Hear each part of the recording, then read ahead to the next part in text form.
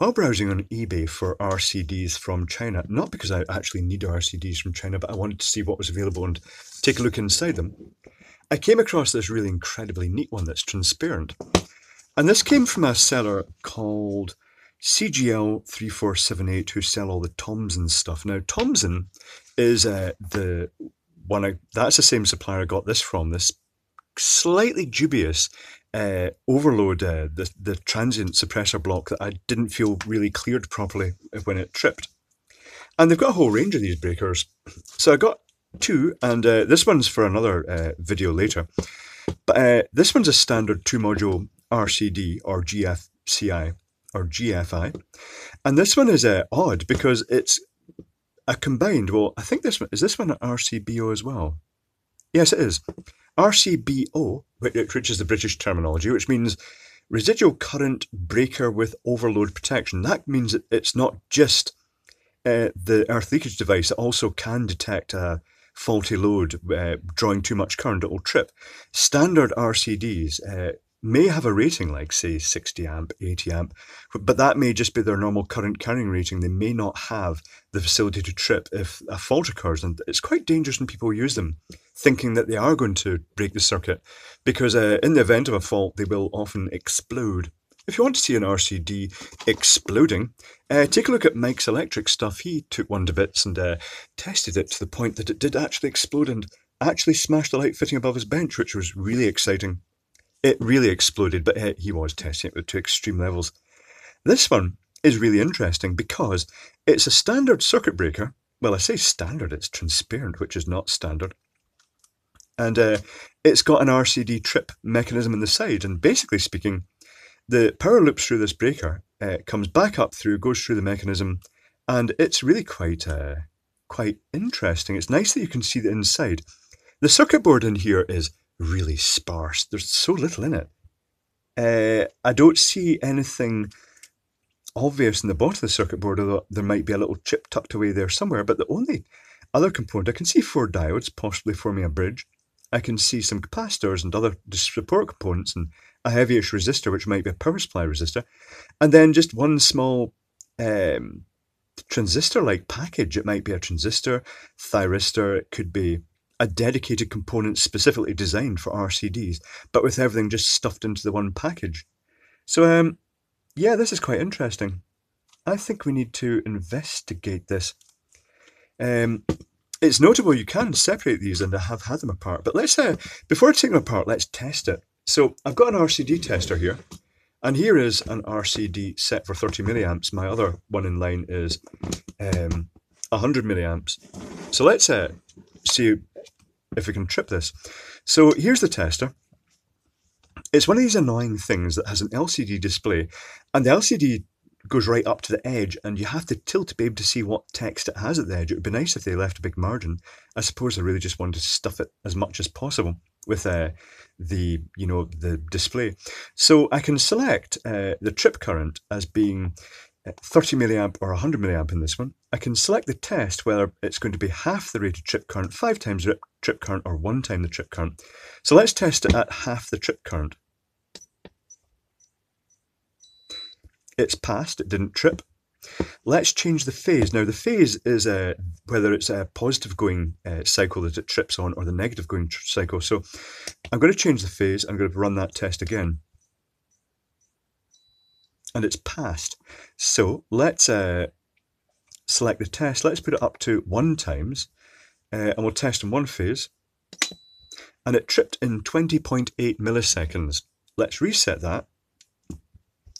Select the other half of the phase and it tripped in 12.6 milliseconds. It's kind of interesting. I wonder if it always trips consistently. That is quite a consistent uh, trip. That's interesting. I'm just going to test that a couple of times. Another one was longer. Yeah, 20 milliseconds on one half wave and about the, the much shorter time the other. Okay, we've now ascertained that the test uh, works. So let's do it on this. I believe this is 30 milliamp. And to hook this up, let's uh, use this dubious test lead. So these, as always, are the sort of rising clamp terminals. As you tighten them, they rise up. And here's a little bugbear of mine, because this is really common on standard products we use here in the UK for installation. Uh, the problem I have is that when you tighten this up, if it's if you're doing it blind because it could be over a bus bar, then you could have that you could sit that over a bus bar and not realize it would feel like it tightened up completely, but it's not actually gripped the wire. Uh, why do they do that? Um, it's one of these things you'd have thought they'd have regulated that they had to have the little tab that comes up after it to stop that happening. But uh, unfortunately, in the UK, all our electrical regulatory bodies are really just office workers. They don't actually get involved in doing electrical work. So someone has to actually tell them that before they do anything about it. It's not very good. So let's uh, test this by wiring in the live through the circuit breaker itself. So Initially, the current flows through the actual circuit breaker, and it is just an ordinary circuit breaker stuck in the side of the trip mechanism. Then it comes out the circuit breaker it goes back up and it goes through the sense circuitry. So here's the neutral going in here, and the earth will just bypass this completely because it only needs to monitor live and neutral to detect the fault. It's basically measuring the amount of current flowing along live and back through neutral. And if it sees a difference, it knows that something's leaked somewhere, either along the, the earth wire and the actual circuit or fi finding another route to earth.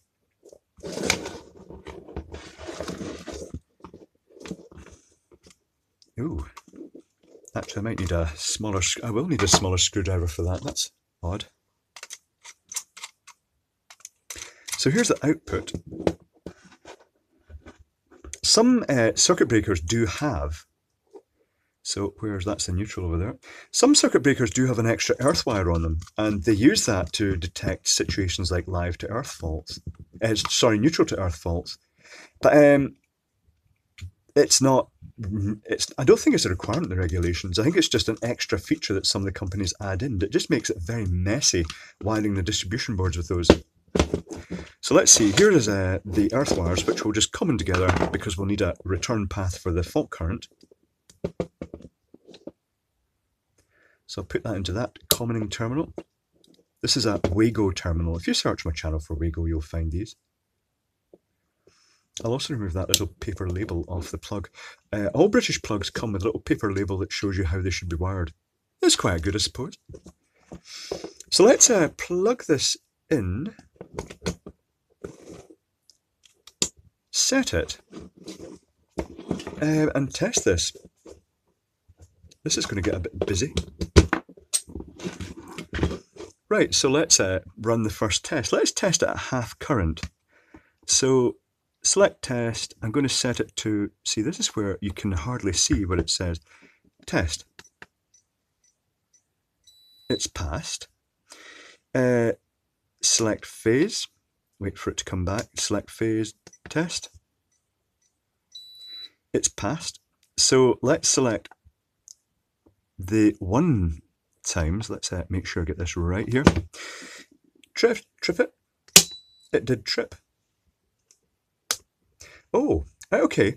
This is not resetting because a little tang has popped out here and you have to press it in to reset it. That's quite good.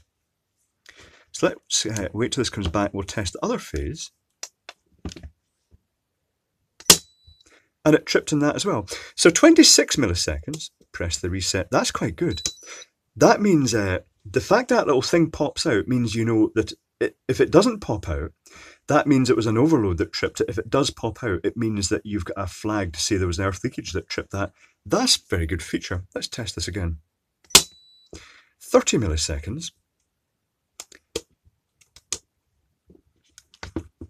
30 milliseconds is actually getting getting on a bit actually in, in this uh, for this particular test. It should be uh, I'm not sure. Is it 20 milliseconds ish is the recommended one? I suppose ultimately, as long as it trips.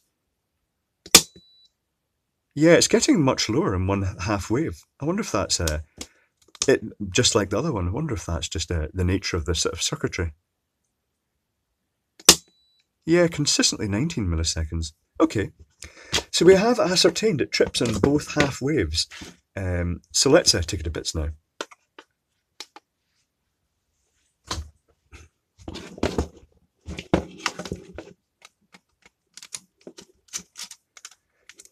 Pop these wires out.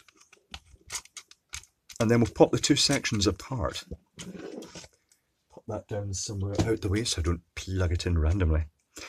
Uh, let's pop this screw out here and this one out here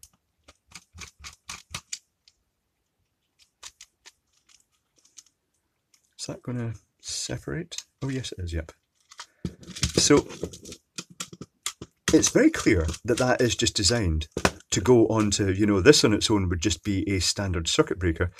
But I wonder if you can then, oh yeah, it is, it's just got the, it's just got the standard hardware. So this on its own could be used as a standard circuit breaker. Let's take a look at that first. I'll zoom in a bit. I'm not sure how good this camera does zoom. Well, you can tell me, or I'll see later on. So what have we got here? The mechanism has a little plunger here and the coil.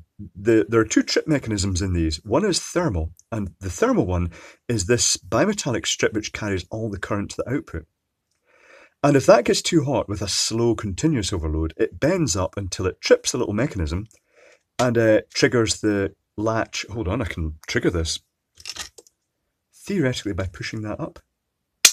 Yep, so thermally the bimetallic strip bends up and undoes the latch. The other mechanism is for really high current short circuits. And there's a plunger here that uh, is through basically a solenoid, but a very coarsely wound solenoid because it passes all the current. And if there's a very high current fault, the plunger fires down, hits the other end of that tab, and trips this.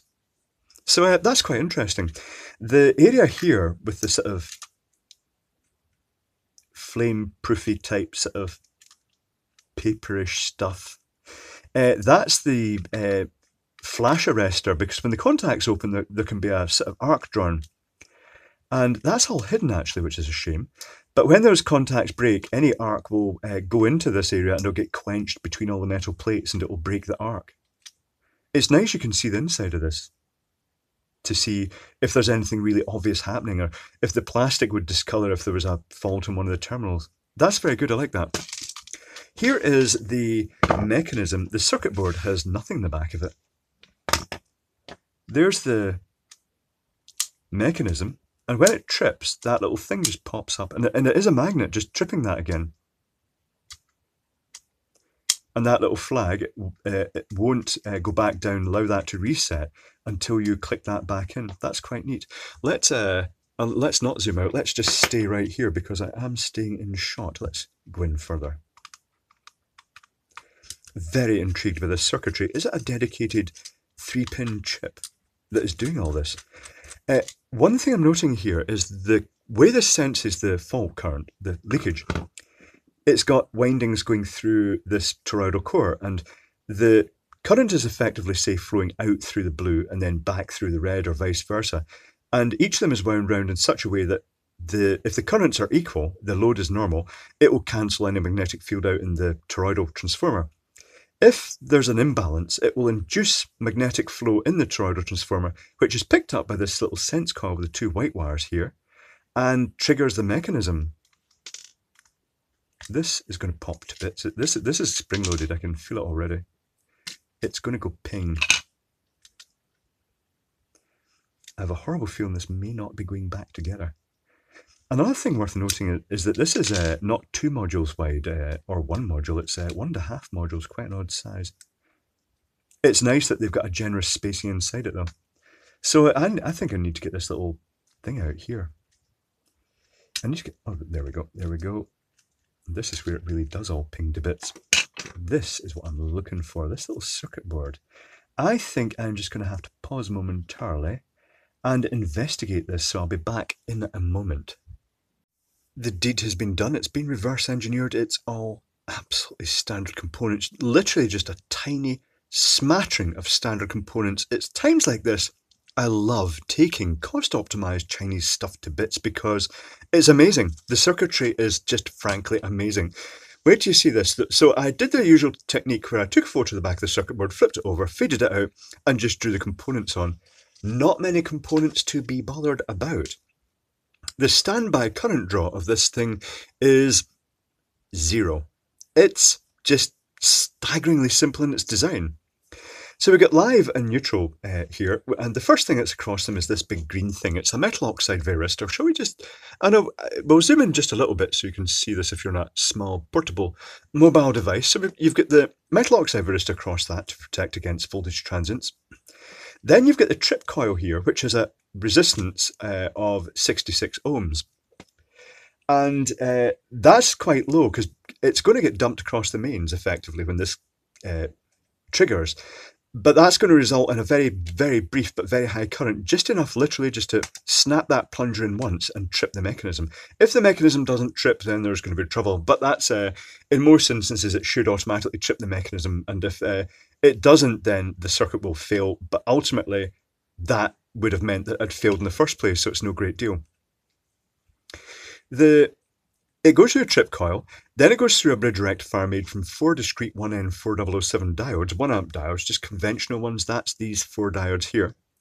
And then it goes to a thyristor, a super sensitive gate thyristor, an MCR100-8, very common. And after that, it's the sense coil here, which has the uh, phase conductors. I've shown them going through it once, but they actually go through twice for extra oomph. And uh, ultimately the, the winding from that that's going to pick up the difference differential current just has a load resistor of 12k, presumably for some sort of calibration level, a 220 nanofarad capacitor to introduce a very slight time delay and to prevent false triggering of this, and a reverse polarity protection diode, so that uh, that'll also mean that in the event of uh, fault current flowing, it's not going to probably saturate this core. Could that happen? This coil, this uh, core is not suitable for DC faults. Not many R- uh, RCDs or GFCIs are. But basically speaking, you've got the current flowing out through this wire and coming back through this wire. And if they're balanced, if it's the same amount of current, nothing will be induced in this uh, magnetic core. But if something leaks to ground, so it's coming in through live, some of it's leaking to ground and not all of it's going back, you'll get an imbalance which will create a small voltage uh, here and uh, after a very tiny delay, it'll trigger this thyristor. The thyristor will turn on and it latches on, it turns on, and will effectively shunt the supply rails, which will energize the trip coil and then kill the circuit. The test circuit is super simple. It's got this one resistor here, which is 3.3K. All it does is it goes from one side, which is a really common technique, one side of the coil to the other, so that when you press the button, it deliberately leaks current that bypasses the core between live and neutral. And again, the resistor would get very hot very quickly if you held that button and it was energized continually. But what actually happens is that when you press that in, the current uh, that sees a fault current and it trips and it kills the circuit. It's absolutely incredibly simple. Uh, the current, the trip times I was getting were well within the standard British requirement, actually. The requirement in Britain is that at normal current, the, say this is a 30 milliamp RCD, milliamp RCD, it should trip within 300 milliseconds. That seems quite a long time because let me assure you that if you get yourself into the situation that current is flowing through your body, 300 milliseconds, even though it's just one third of a second, will feel like a very, very long time. Uh, at five times that current, it should trip in 40 milliseconds, and that's a sort of that's a sort of minimum time it should trip in. This fulfilled that even though it was effectively only going to trigger on one half of the wave. I was under the impression it had to trip within half a sine wave, but really they're just saying trip within, you know, best part of a sine wave. And this is just tripping in either less than the half or on the other opposite polarity, it'll uh, be just over half a sine wave, so it goes into the other polarity. Uh, that's very good. Um, that's really, really interesting. I love that circuit because it is so super simple. And the design in here is just chunky. It's because there's no really dense custom circuitry, it's just really neat. That is nice. I wonder if that's what's in the other circuit breaker as well. I, I, may have to take apart some other standard circuit breakers now just to see what they're like, the RCDs, GFCIs. But this is a, yeah, I like that. That is very, very nice. I'm not going to say that you should rush out and buy these and install them because unfortunately there's that situation that uh, if there's an accident and they find that you got stuff cheap off eBay without the British or American or German or Australian European certification, then they're going to start pointing fingers as they do. But uh, this, I'm guessing, is perfectly acceptable for China and quite justifiably so. It certainly seems to do the job.